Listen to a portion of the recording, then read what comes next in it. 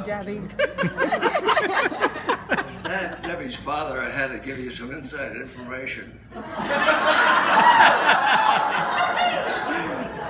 From Debbie's infancy on, she was, uh, she had to have her own way. She had her information that had to be her way with no compromise.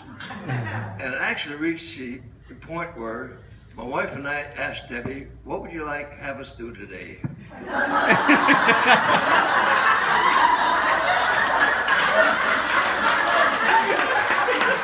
When Debbie entered UCLA, she became interested in the autistic program. And a while after, Debbie asked me, would you and mom like to come down and observe what was going on here? And we said, we'd love to.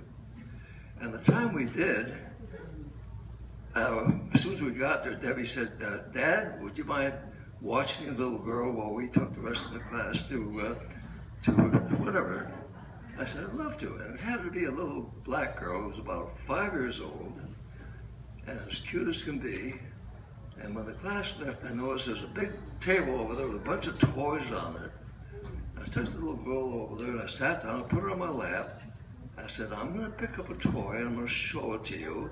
I'm going to tell you what it is, and I want you to repeat after me what I said.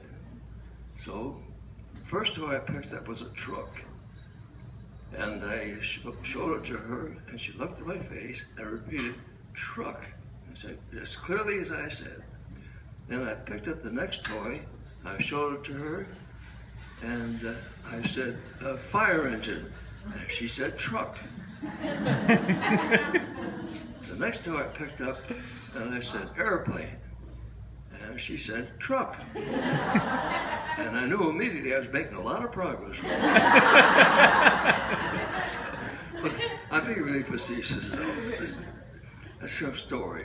But when Debbie came back, I told her what progress I really made with this girl. Actually, she repeated exactly what I was saying very clearly.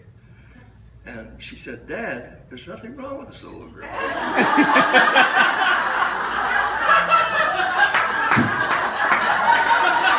The girl is autistic. if you ever heard a big balloon explode, that's what happened to me.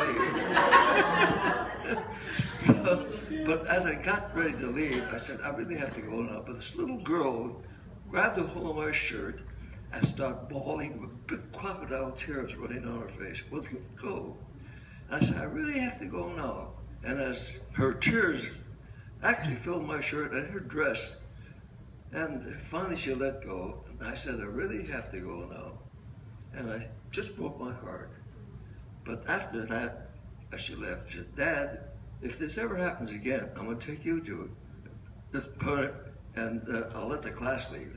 that was my big experience with Debbie, but I'm very proud of whatever she did all, all through life, as I have now. And she's been a wonderful gal. Uh, I I thank you all.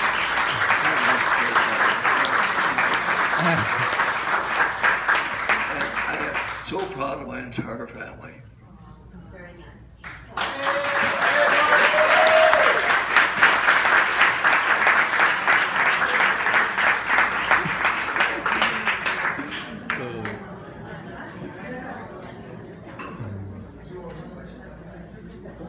Yep.